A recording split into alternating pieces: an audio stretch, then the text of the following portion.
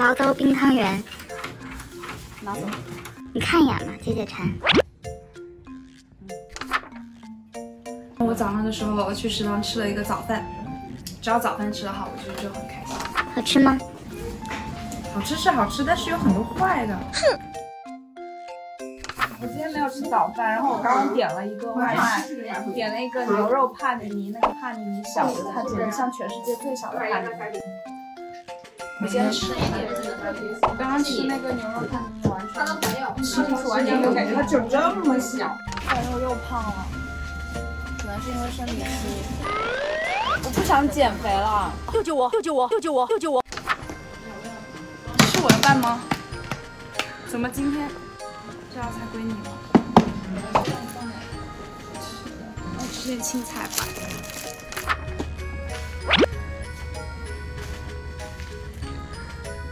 为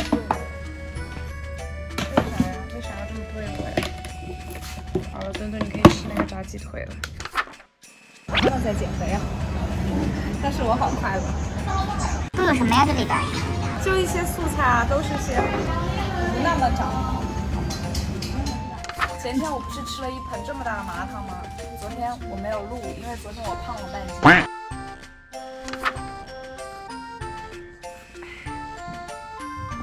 加油，一个加油吧。